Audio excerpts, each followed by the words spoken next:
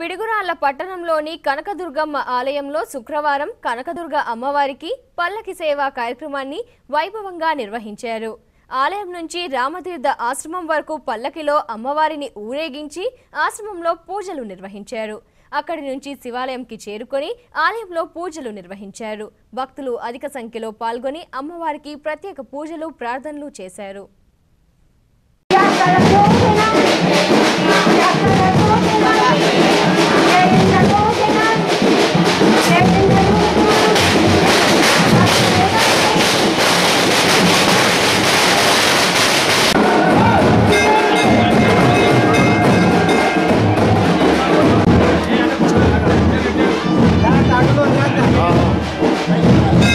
you.